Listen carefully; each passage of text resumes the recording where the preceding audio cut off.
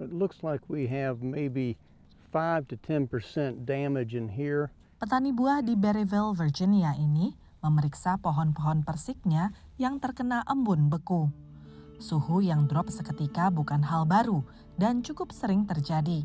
Yang mengagetkan ini terjadi akhir Maret, sementara selama bulan Februari, salah satu bulan yang biasanya terdingin, suhu sangat hangat, membuat pohon berbunga jauh lebih awal. This year we're probably every bit of three weeks ahead of what a normal season should be. Um, and we're probably a week, if not 10 days ahead of what last year was, which was very early. Menurutnya suhu hangat lebih awal semakin sering terjadi. The climate that we've experienced over the last probably 10 years has been warmer winters, earlier bloom, um, and which puts us in a, a situation for, for a lot of loss.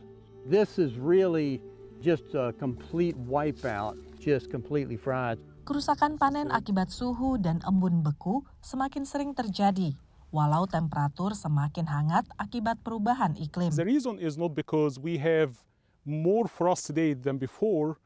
The reason is the shift in flowering. Musim dingin yang lebih hangat membuat tanaman lebih cepat bangun dan berbunga dini.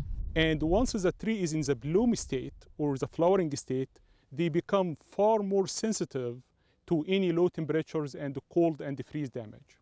It might be Menurut Profesor Cornell University ini, bunga dini terjadi di seluruh kawasan dengan iklim sedang, yaitu antara tropika dan lingkar kutub, menyebabkan gangguan signifikan pada petani buah. So if this happens once every 10 years, it's sort of part of the risk of the job.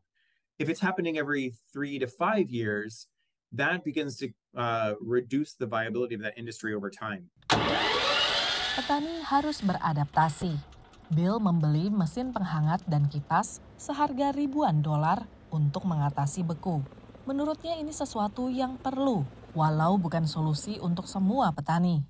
Baik embun beku, kemarau panjang atau banjir, perubahan iklim memaksa petani seluruh dunia untuk beradaptasi. You can do all sorts of things to try to reduce um, climate impacts, and we will have to do those. At some point, the economy won't play out, and that that production will have to move. Di planet yang serba berubah, banyak petani harus mengubah apa, di mana, dan bagaimana mereka bertani. Dari Berryville, Virginia, VOA.